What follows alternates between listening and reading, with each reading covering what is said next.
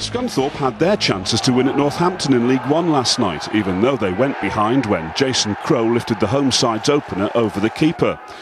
United equalised on the stroke of half time with a great header from Liam Trotter. Not a bad celebration either. They went ahead when Martyn Woolford was bundled over in the box, and Grant McCann stepped up to score from the spot. But poor defending let Northampton back into the game. It was 2-2 on the hour when Ikechi Anya headed them level. Another corner gave Scunthorpe the advantage again. This time, Matt Sparrow muscled his way in and thumped in the Irons' third.